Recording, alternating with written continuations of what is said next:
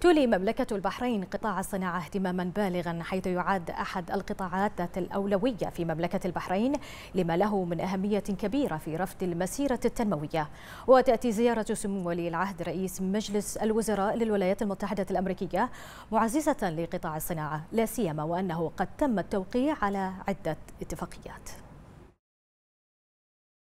تولي مملكة البحرين قطاع الصناعة اهتماما بالغا بما يرفض مسيرة البناء والتطوير في المملكة ويسهم في توفير المزيد من الفرص النوعية للمواطنين. حيث يعد هذا القطاع أحد القطاعات ذات الأولوية في مملكة البحرين والذي يأتي تحقيقا لأهداف رؤية البحرين الاقتصادية 2030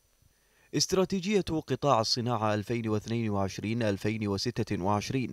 جاءت معززة لدور القطاع الصناعي وإسهامه في تنمية الاقتصاد الوطني من خلال حزمة من المشاريع الاستراتيجية والاستثمارية التي ستعمل الاستراتيجية على تنفيذها ومنها إنشاء منطقة تجارية أمريكية والتي ستكون على مساحة مقدرة بمليون ومائة ألف متر مربع. ومن المتوقع الانتهاء من هذا المشروع بحلول يونيو من عام 2025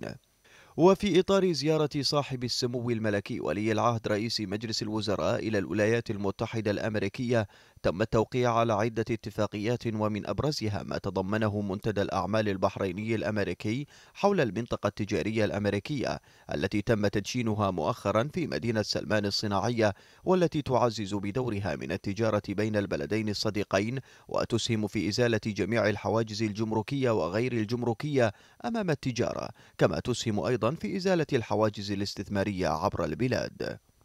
منطقة التجارة الأمريكية تأتي شاهدا على متانة العلاقات الاقتصادية والشراكة التجارية بين مملكة البحرين والولايات المتحدة الأمريكية وتلعب دورا محوريا في استراتيجية قطاع الصناعة 2022-2026 وتحتل هذه المنطقة موقعا استراتيجيا بالقرب من مطار البحرين الدولي وجسر الملك فهد وميناء خليفة بن سلمان لتسهيل الخدمات اللوجستية وضمان التدفق السلس للسلع والمنتجات. ومن المت المتوقع أن يسهم إنشاء هذه المنطقة في الدفع بالتجارة الثنائية بين البلدين إلى آفاق أبعد.